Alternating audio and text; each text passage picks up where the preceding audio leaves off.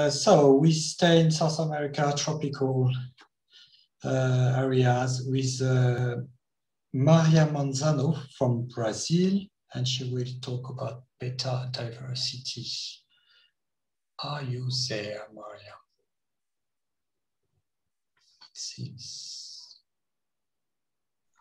Hi. Hi, we can see you, we can hear you, and we see ah, okay. your PDF. So just Okay. full screen and it would be perfect. Okay, thank you. Thank you. Whenever you like. So, hello everyone. Uh, today I will present part of the work carried out during the sandwich period of my master's at the Universidad Autónoma de Madrid, uh, with collaboration of Larissa Sugai, Ricardo Sawaya, and Diego Llusia.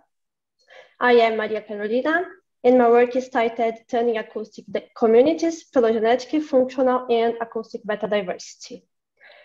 So uh, the huge diversity of sounds produced by animal communities varies across time and space and has been widely studied today.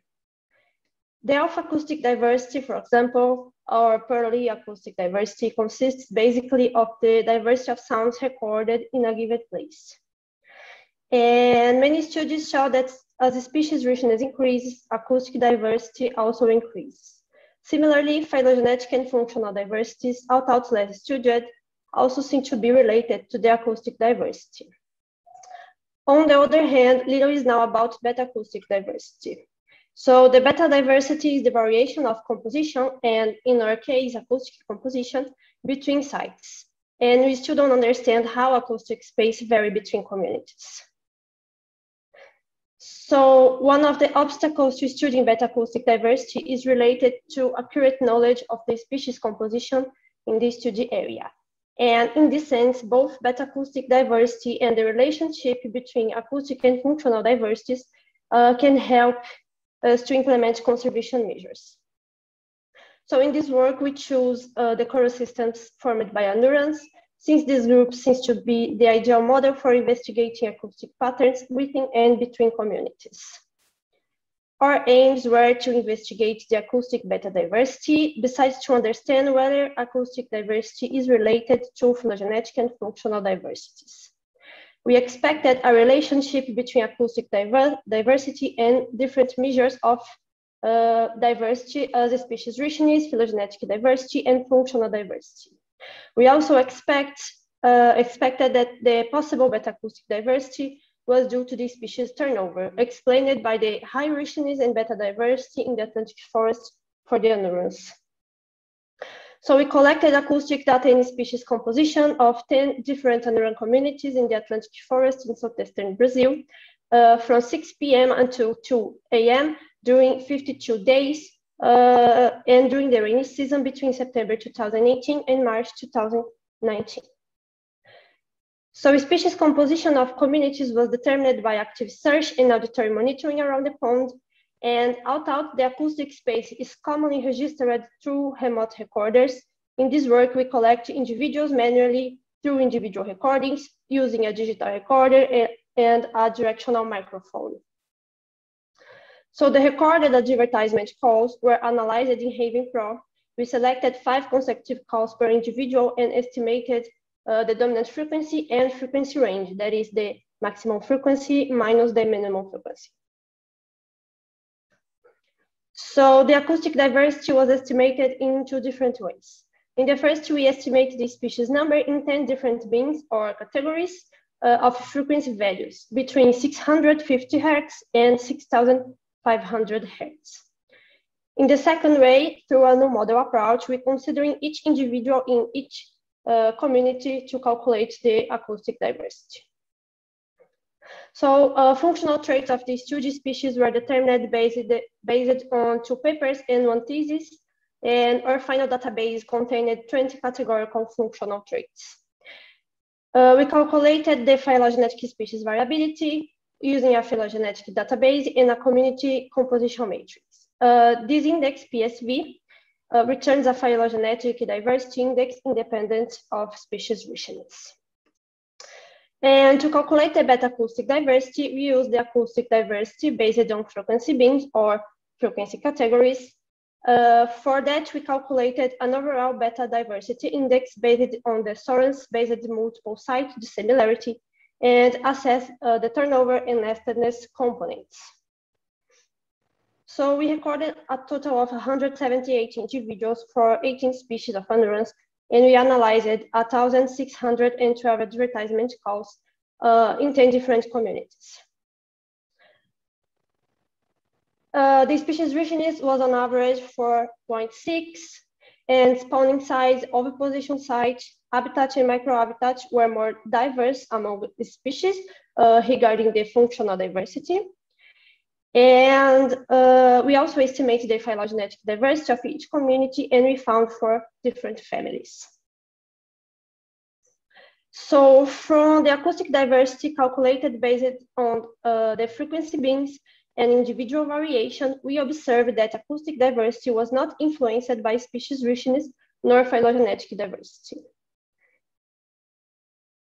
Um, we also, uh, as we can see uh, in the image related to the individual variation. So this is the acoustic diversity related to the individual variation, and this is species richness and phylogenetic diversity um, independent of species richness.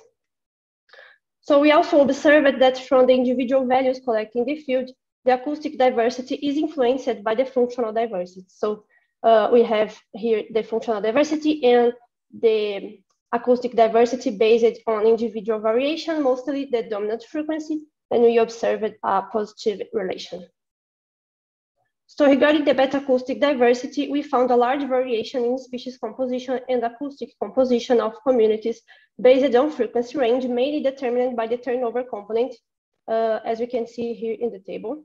So this is the uh, beta diversity for the community composition and the frequency range, and the turnover uh, component seems to be the, the more important.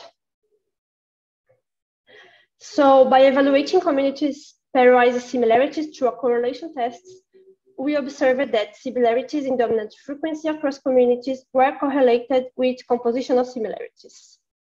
And we conclude that species richness and phylogenetic diversity does not seem to contribute to acoustic diversity in our case, and despite this, some work being carried out in our lab shows that when we considering the individual variation of the dominant frequency in each community, the acoustic diversity seems to be related to the functional diversity.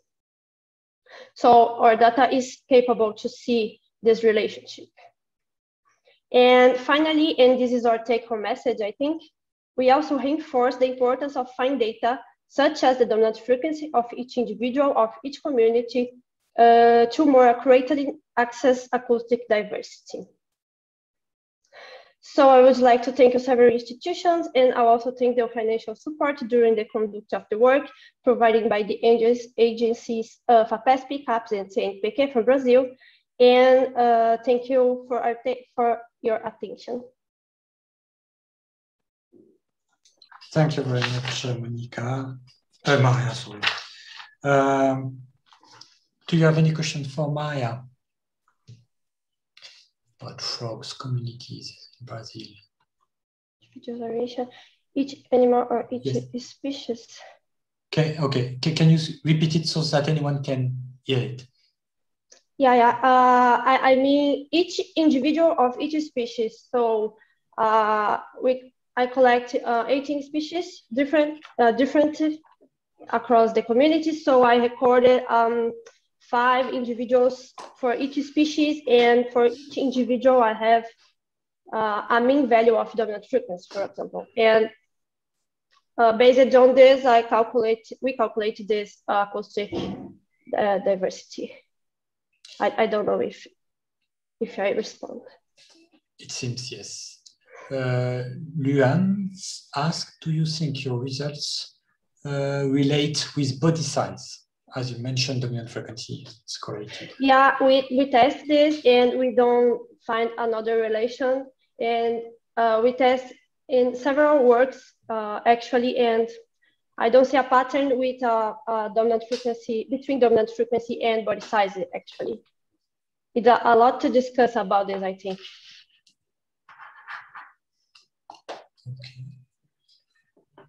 And as a side project or maybe project, did you consider using uh, uh, ecoacoustic recordings of the full community and to see how the species uh, potentially partition uh, mm -hmm. the, the, space and how it could be related to phylogenetic uh, distance, actually. Yeah.